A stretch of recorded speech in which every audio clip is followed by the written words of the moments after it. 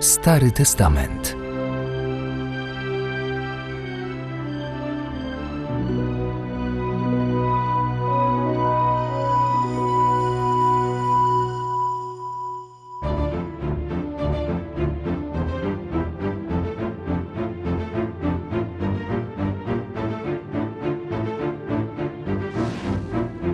Scenariusz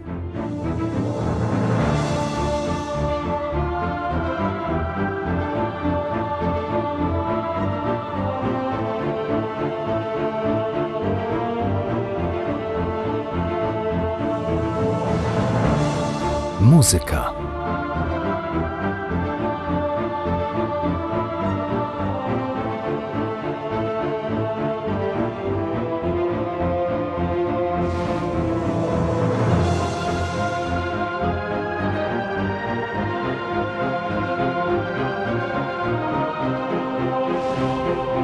Reżyseria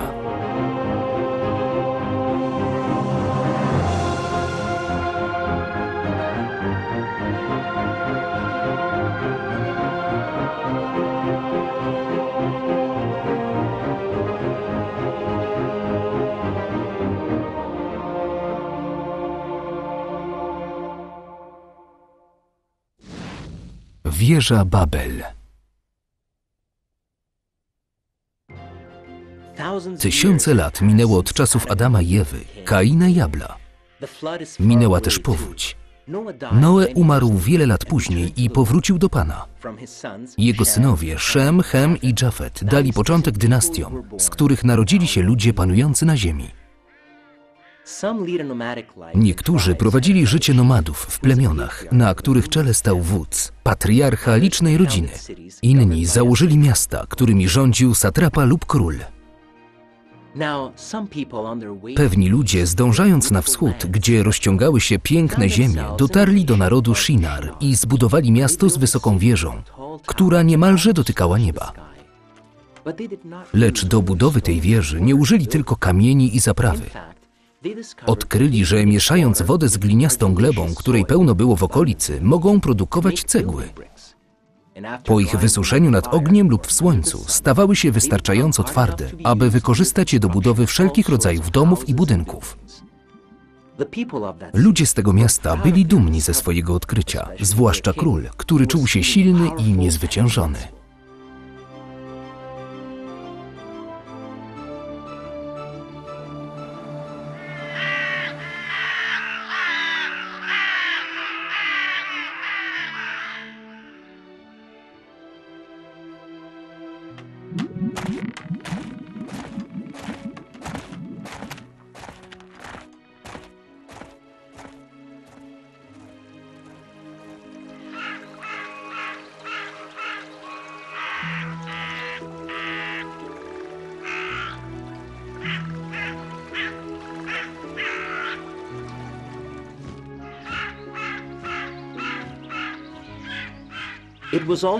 Okazało się, że kamienie można łączyć ze sobą nie tylko przy pomocy gliny, jak robiono to wcześniej, lecz przy pomocy asfaltu, płynnej substancji, jaka pojawiała się na powierzchni niziny w wielkich bajorach.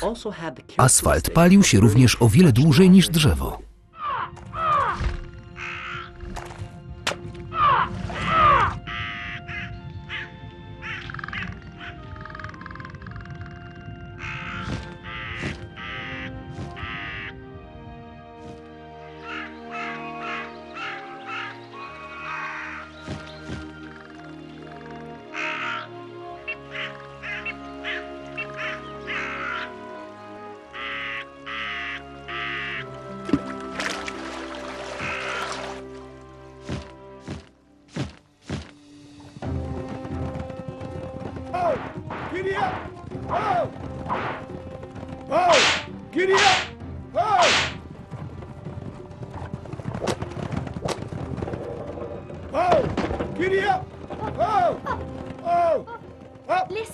Ale dlaczego jedziesz tak szybko? Droga jest wyboista. Wychłoszczą mnie, jeśli się nie pośpieszę. Muszę jechać na jeszcze jedną wyprawę. Król chce, żeby wieża była gotowa w cztery miesiące.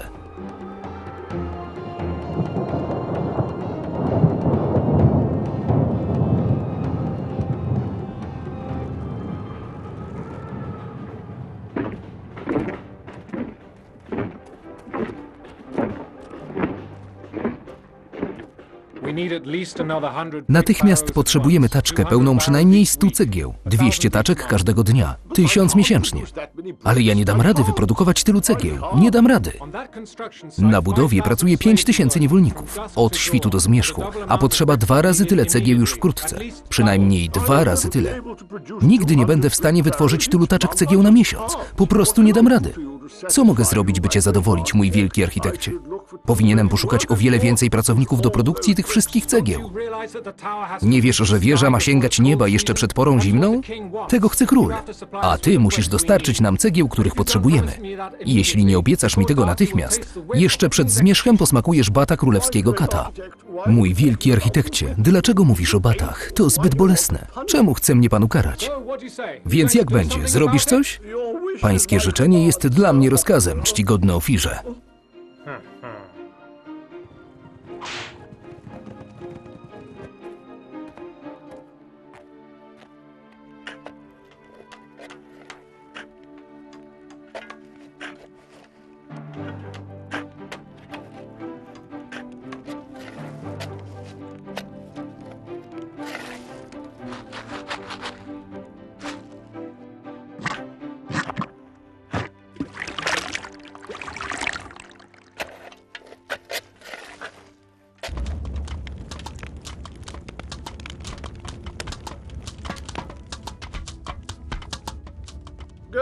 No jazda, musicie pracować szybciej.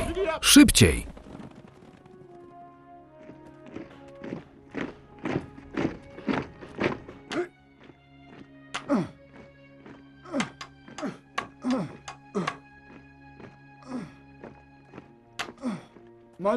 Mój panie, w tym czerwonym kamieniu trudno się rzeźbi.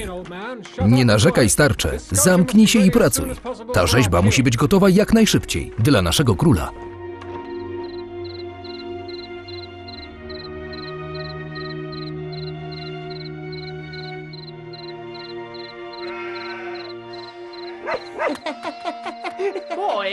Gdzie jest twój dziadek? Tam jest. Patrz, matko, tam. Idź i zawołaj go. Musi teraz coś zjeść. Zawołaj go. Później, matko, teraz rozmawia z Bogiem. Dobrze, masz rację.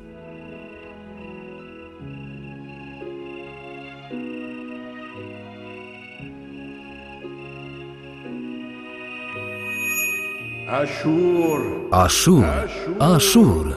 Mnie wołasz, panie? Znasz moje imię?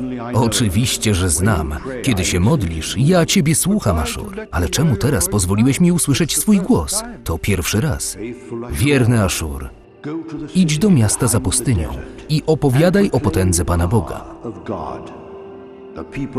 Ludzie w tym mieście nie uznają mnie i zanim ich ukażę, chcę, abyś udał się do ich króla i rozmawiał z nim w moim imieniu.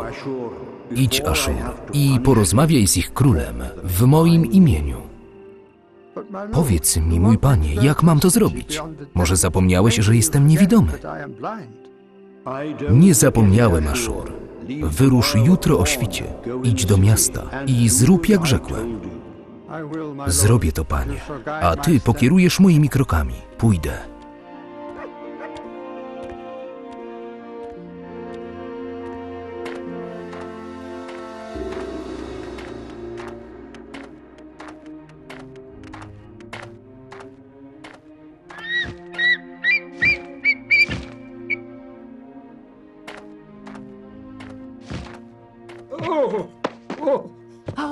Pomogę ci, dziadku.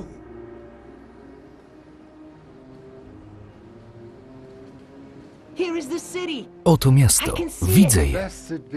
Błogosławione niech będzie imię Boga. Panie, mów. Wasza wysokość, oto projekty. Wieża jest już teraz wysoka, lecz będzie większa, póki nie sięgnie nieba. Żaden inny król nie powie, że jest potężniejszy ode mnie, kiedy wieża będzie gotowa. Każdy wie o wieży. Królowie pobliskich miast przysłali szpiegów, aby ją zobaczyli i zdali im relacje. Słyszałeś, Ofir? Kiedy nazwałem cię wielkim architektem, dokładnie tego chciałem. Nikt nie jest większy ode mnie. A kiedy my będziemy mieć własnego Boga? Nie słyszałem o mieście, które miałoby swojego własnego Boga. Kazałem wyrzeźbić go w czerwonym kamieniu. Będzie wspaniały, jak kazałeś, i umieścimy go na szczycie wieży. W czerwonym kamieniu mówisz? Tak, wasza wysokość. Pomyślałem o czerwonym kamieniu. Świetny wybór, architekcie. Miałeś świetny pomysł.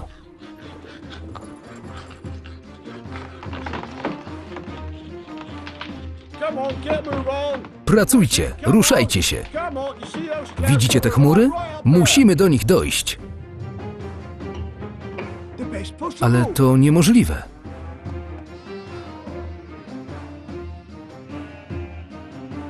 Ty też oglądasz wieżę? Jak mogłabym nie patrzeć? To taka okropna rzecz.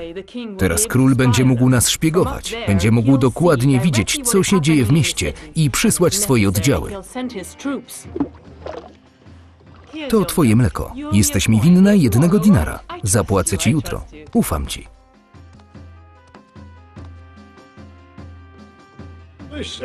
Mówią, że to będzie najwyższa wieża na świecie i ludzie z całego świata będą przyjeżdżać, aby ją zobaczyć. Nie wiem, czy poza nami są na tym świecie inni ludzie. Wiem tylko, że ta wieża jest naprawdę ohydna. Cicho, król nie życzy sobie, by krytykowano jego wieżę. Mogę, panie? Who's out there? Kto tam jest? Who are you? Kim jesteś? Po co tu przyszedłeś? Nie ma znaczenia, kim jestem. Moje imię to Ashur. Czego chcesz? Czemu chce pan zbudować tak wysoką wieżę? Ponieważ król tak zarządził. Czemu pytasz? Co ty masz z tym wspólnego? Ale to pan osobiście zasugerował to królowi. Oczywiście, że ja. Zasugerowałem to, aby zwiększyć chwałę i wielkość naszego króla. I to pan powiedział mu, aby odrzucił wszechmogącego Boga i zbudował bożka z kamienia. Oczywiście, jeśli król chce pokazać swoją wielkość i chwałę, musi mieć swojego własnego Boga. Bóg z kamienia, aby mówił wszystko, czego będzie chciał król. Oczywiście, oczywiście, ale dlaczego wciąż o tym rozprawiasz? Czego chcesz? Czemu mi to wszystko mówisz? Kim jesteś? Spytałem, kim jesteś i dlaczego przybyłeś, aby się ze mną spotkać. Odpowiedz, czego chcesz. Przybyłem tu, aby powiedzieć panu, że nigdy nie skończy pan tej wieży, ponieważ taka jest wola wszechmogącego. Ty jesteś szalony. Każę cię wychłostać.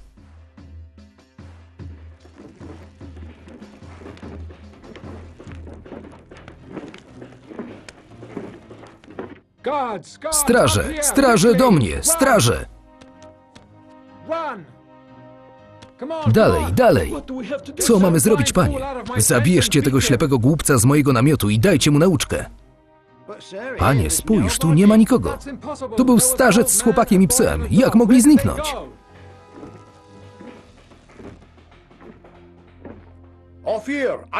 Ofirze, zapłaciłem dużo pieniędzy, aby wybudować tę wielką wieżę i teraz patrzycie na nią bez mojego pozwolenia, nie zapłaciwszy mi nawet jednej monety. Zasługujecie na chłostę. Nie jestem gotów dzielić się z wami mojej cudownej wieży. Z wami, żałosnymi nieszczęśnikami. Panie, nie mów tak. Zawsze byliśmy ci posłuszni. Zawsze skrzętnie i prędko wypełnialiśmy twoje rozkazy.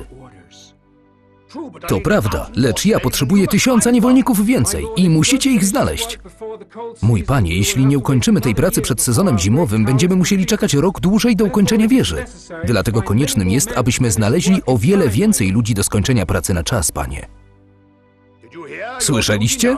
Waszym obowiązkiem jest teraz sprowadzenie wielu niewolników. Nikt nigdy nie narzekał na moją hojność i teraz też będę hojny.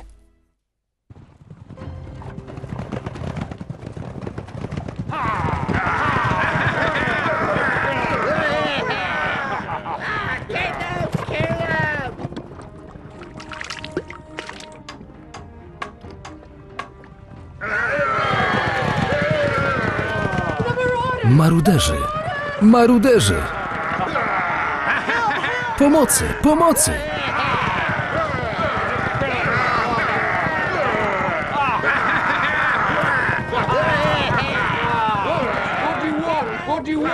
Brońmy się, walczmy z maruderami. Odłóżcie broń, jeśli nie chcecie umrzeć. I tak umrzemy, ale nikt z nas nie wróci do domu. A, chcecie walczyć? Przybyliśmy w pokoju, nie chcemy rozlewu krwi. A co powinniśmy waszym zdaniem zrobić? Przybyliście tu z bronią w ręku. Chcecie, byśmy zginęli bez walki? Przyszliśmy z wami porozmawiać. Słuchamy, nie zaprzestaniemy oporu. Czego chcecie? Musicie jechać do pracy w mieście i ukończyć budowę królewskiej wieży. Jeśli pojedziecie, król będzie wdzięczny i zapłaci wam za waszą pracę. A jeśli odmówimy opuszczenia naszych kobiet i namiotów? Wtedy będzie źle.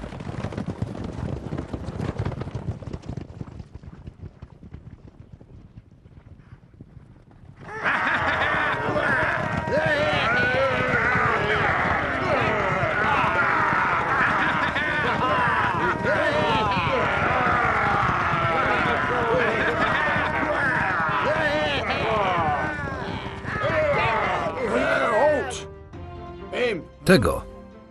Tego. Tego. Tego. Nie, nie jego. Cicho, kobieto. Ci mężczyźni pójdą z nami, albo będziemy musieli ich wszystkich zabić. Rozumiesz? Zabijemy ich wszystkich. Ale dlaczego chcecie naszych mężczyzn? Dokąd ich zabieracie? Pojadą z nami budować wielką wieżę króla. Mój synu.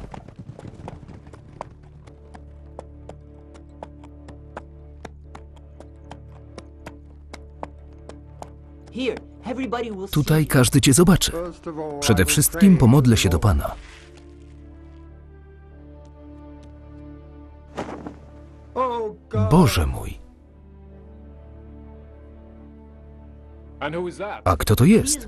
On jest tym, który przybył z pustyni. Ale czy on nie jest niewidomy? Co on teraz zrobi? Teraz chcę przemówić. Bądźcie wierni Bogu, naszemu Stwórcy, który wydobył was z nicości i dał wam życie. Nikt nie jest potężniejszy od Niego. On nagradza dobrych i karze złych. Ale o jakim Bogu ty mówisz? Mówię o Bogu niewidzialnym, wszechmogącym, naszym Stwórcy.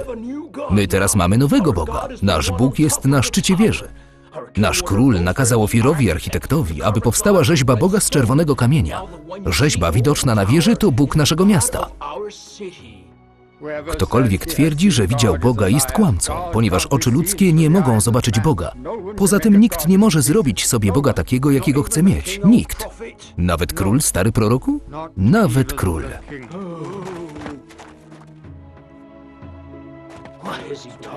O czym on mówi? Ten człowiek oszalał. Niedobrze, oni boją się króla. Masz rację, dziadku, chodźmy.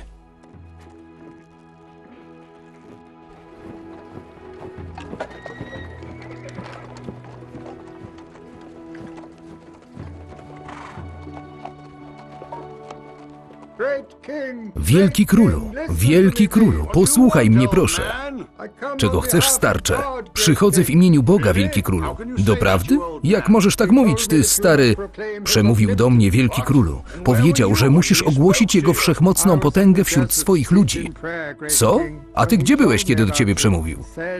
Byłem na pustyni, pogrążony w modlitwie, kiedy powiedział mi o tobie i przekazał, co mam ci powiedzieć. I co ci powiedział? O wielki królu, przysłał mnie do tego miasta, abym ci przekazał, byś nie zwodził swojego ludu. Ha, jazda, jazda, chodźcie, nie traćmy czasu. Wielki królu, powiedz, jaka jest twoja odpowiedź dla twego Boga? Że teraz mam nowego Boga, Boga z czerwonego kamienia. Panie, spróbuj mi wybaczyć.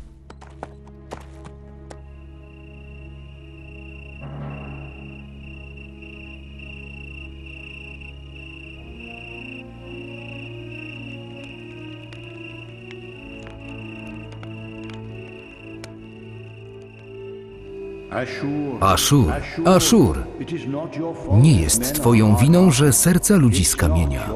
To nie twoja wina. Nie zamartwiaj się. To nie jest twoja wina. Czy to ty, panie? Nic nie mogłem zrobić. Oni są bardziej ślepi niż ja. Nie zamartwiaj się, Aszur. Pomieszam im języki tak, aby nie mogli się wzajemnie zrozumieć. Wtedy przestaną budować to miasto, które nazywać się będzie Babel, to znaczy pomieszanie języków. Spójrz, kochany. Podoba ci się? Kazałam ją uszyć, bym mogła ją włożyć na inaugurację wieży. Uważasz, że jest piękna? Chcesz, żebym powiedział, że jest piękna? Jest piękna! Lecz dzisiaj mówisz do mnie językiem, którego nie rozumiem. Co powiedziałaś? Co mówisz? Nie rozumiem. Czemu mnie nie rozumiesz? Czy ty oszalałaś, moja królowo? To dziwne, nie rozumiem ani jednego z twoich słów.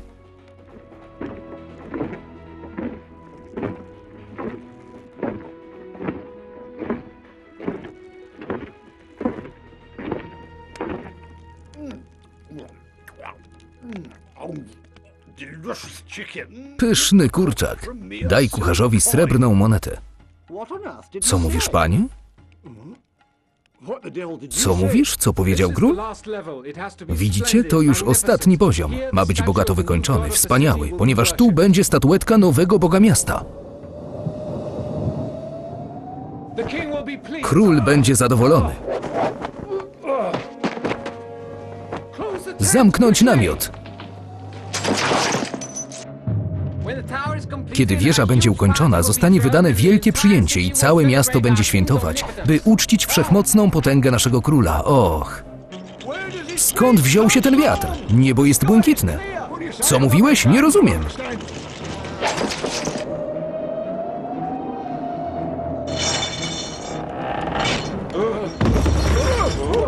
Zgasić ogień.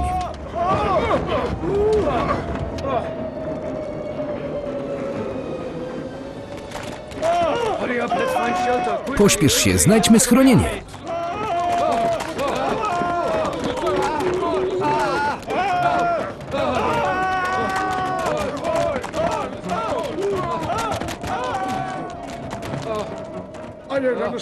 Nie rozumiem, co mówisz.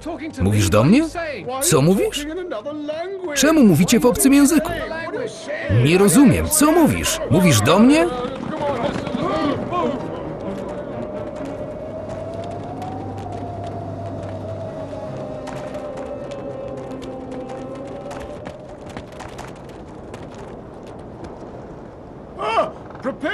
Hej, przygotuj mi konia. Esmartaku Berundiahe? Co mówisz? Nie rozumiesz mnie? Trokis Marfał.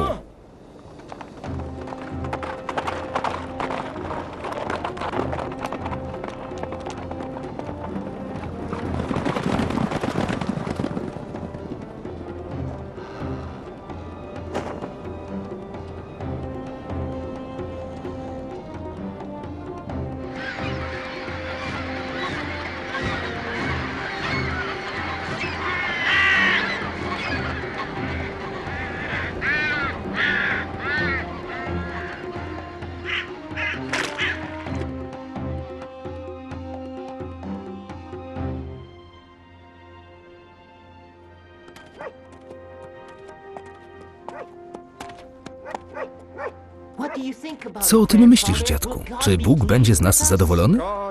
Bóg jest zawsze z nas zadowolony, kiedy wypełniamy Jego wolę.